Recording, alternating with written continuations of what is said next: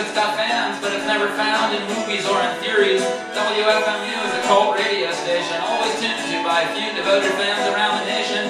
For every time I couldn't get a second date or even first, why does one think I'm the best when all the rest think I'm the worst? For all of those times, no one at all wanted to know if I'm really all that awesome. Wouldn't more people think so? I guess cult boyfriend is the term for me.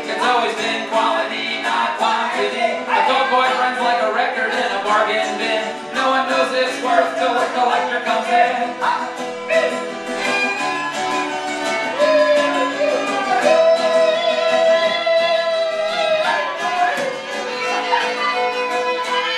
On uh, who are some cult literary names that I can honor? Maybe J.G. Ballard or Flannery O'Connor, Haggis and Fugu, that's like food for cult eaters. Jim Jones, Father Yod, Charles Manson, they're cult leaders. We have to be magical? Can we date a few months then move on, normal and casual?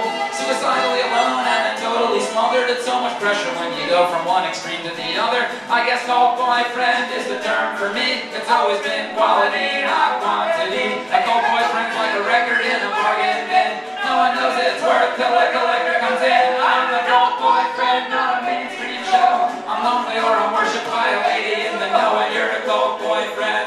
Always intense. They're in love or they're indifferent. No one's on the fence. And this song probably ain't gonna go very far beyond an open mic. It's guaranteed though two or three people are really